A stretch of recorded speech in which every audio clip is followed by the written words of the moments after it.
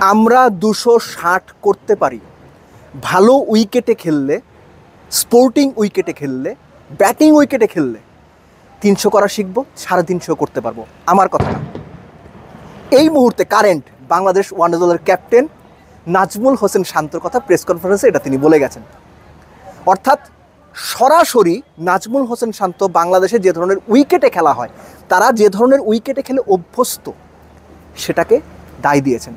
Bangladesh cricket বোর্ডকে এখন ওই যে দুশো পঞ্চাশ ষাট ওরকম উইকেট তৈরি করা সেখান থেকে বের হয়ে নিজেদের স্বার্থে, বাংলাদেশ ক্রিকেটের স্বার্থে সাড়ে তিনশো উইকেট তৈরি করতে হবে। নইলে এই বাংলাদেশ দল যেখানে আছে সেখানেই থাকবে। এখান থেকে উন্নতির আর কোনো সম্ভাবনা নেই।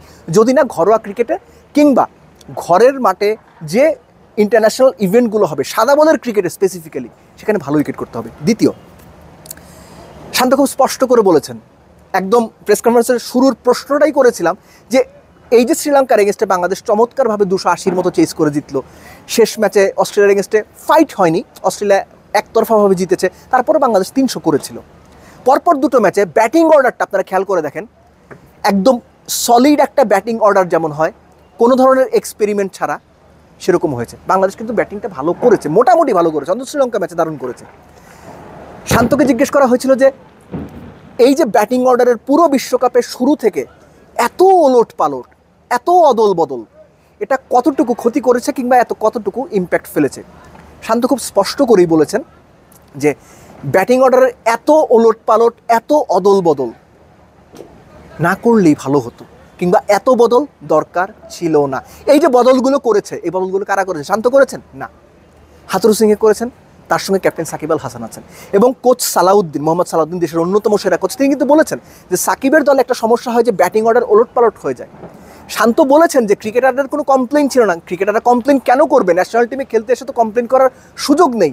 কমপ্লেন করতে গেলে বা নিজের একটা চাওয়া, নিজের একটা পছন্দের কথা বলতে গেলে উল্টো চক্ষুশুল হতে হয়, সমালোচনার পাত্র হতে হয়। কিংবা মনে, অনেকে মনে করে নেন যে এই ক্রিকেটাররা সঠিক কথা বলছে না, কিংবা এই ক্রিকেটার যিনি আছেন, তিনি কোচের সিদ্ধান্তকে বা কোচের চাওয়াকে প্রশ্নবোধক একটা মার্কের মধ্যে আটকে দিচ্ছেন। সো অনেক সময় ভয়েও ক্রিকেটাররা এটা বলেন বাট শান্ত বলেছেন যে এত অদবদল না করলেই ভালো হতো। সো এই দুটো দিক আমার মনে হয় যে বাংলাদেশ ক্রিকেটের জন্য এই বিশ্বকাপে বড় ক্ষতির কারণ হয়েছে ব্যাটিং অর্ডারের অদল বদল এবং ঘরোয়া ক্রিকেটে বা হোম সিরিজগুলোতে ভালো উইকেটে না খেলা। স্বাস্থ্যকর অল টাইম পান সব সময় অল টাইম হেলদি লাইফ বিশ্বকাপ ক্যাম্পেইন শেষ বাংলাদেশ চ্যাম্পিয়ন্স ট্রফিতে কোয়ালিফাই করে গেছে। আগামী টার্গেট ডেফিনেটলি হওয়া উচিত দুই হাজার পঁচিশের চ্যাম্পিয়ন্স ট্রফি। এবং সেই চ্যাম্পিয়ন্স ট্রফিতে বাংলাদেশ কী ধরনের সেট নিয়ে যাবে কোন জায়গাগুলোতে কী ধরনের ক্রিকেটাররা থাকবেন সেটা এখন এই মুহূর্তে খুব দ্রুততম সময়ে বসে ক্রিকেট বোর্ডের নীতি নির্ধারক যারা আছেন, তাদের সিদ্ধান্ত নিতে হবে। বদল করতে চান? ডোনাল্ডের জায়গায় আপনি এক্স ওয়াই জেডকে বোলিং কোচ আনতে চান? আনেন। আপনি নান্নু বাসারকে সরিয়ে দিয়ে নির্বাচক আনতে চান? আনেন। ক্রিকেট বোর্ডের চেয়ারে যারা বসে এই ব্যর্থতার জন্য অন্যতম প্রধান দায়ী, তাদেরও সরিয়ে দিতে চান? দেন, কোনো অসুবিধা নাই। কিন্তু পরিকল্পনাটা ঠিক মতো করেন। কেননা দু হাজার পঁচিশ চ্যাম্পিয়ন্স ট্রফি যদি মাথায় রাখতে হয়, এখন থেকেই প্রস্তুতি শুরু হবে। বিশ্বকাপ ব্যর্থতার পরে বিশ্বকাপ থেকে যে ধরনের ঘটনাগুলো ঘটেছে টপ অর্ডার রান করতে পারে না, বড় পার্টনারশিপ হয় না, নিয়মিত বিরতিতে একশোর আগে তিন চারটা করে উইকেট যায়, ভালো ফ্ল্যাট উইকেটে বোলাররা উইকেট তুলতে পারেন না মিডল ওভারগুলোতে উইকেট তোলা যায় না মিডল ওভারগুলোতে বেশি রান হয় না, অনেক রকম সমস্যা। সব সমস্যার রাতারাতি সমাধান সম্ভব না।